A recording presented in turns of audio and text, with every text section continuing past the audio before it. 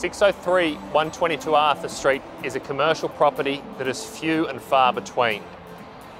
Think copious amounts of light, high quality fit out, and a sensational outlook over Cremorne Point and Sydney Harbour.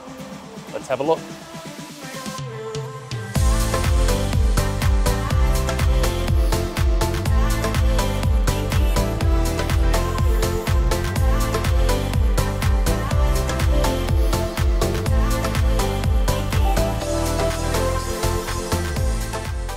This is an architecturally designed office that exceeds the normal standards.